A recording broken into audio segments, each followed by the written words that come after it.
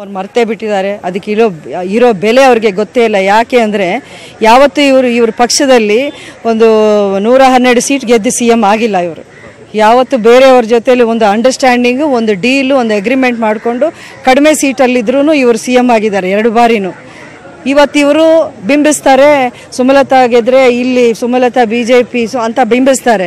ಈಗ B J P ಜೊತೆಯಲ್ಲಿ ಒಂದು ಅಂಡರ್ಸ್ಟ್ಯಾಂಡಿಂಗ್ ಟ್ವೆಂಟಿ ಟ್ವೆಂಟಿ ಅಂತ ಮಾಡ್ಕೊಂಡಿದ್ದ ಪಕ್ಷ ಯಾರು?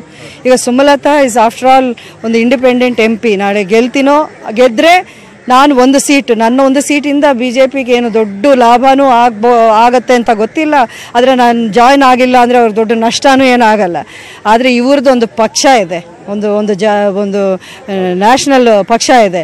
ಅದರಿಂದ ಇವರು ಡೆಲ್ಲಿಯಲ್ಲಿ ಯಾವ, ಇವರು ವರಿಷ್ಠರಿದ್ದಾರಲ್ಲ ಯಾವ ಬಿ ಜೆ ಪಿ ನಾಯಕರನ್ನು ಇವರು ಸಂಪರ್ಕ ಆಗಲೇ ಮಾಡ್ತಾ ಇದ್ದಾರೆ ಎಲೆಕ್ಷನ್ ಆದ ತಕ್ಷಣ ಬಿ ಜೆ ಪಿ ಜೊತೆಲಿ ಸೇರ್ಕೊಳ್ಳೋ ಒಂದು ಪ್ಲ್ಯಾನ್ ಯಾರು ಹಾಕ್ತಿದ್ದಾರೆ ಅಂತ ಜನ ನೋಡ್ತಾರೆ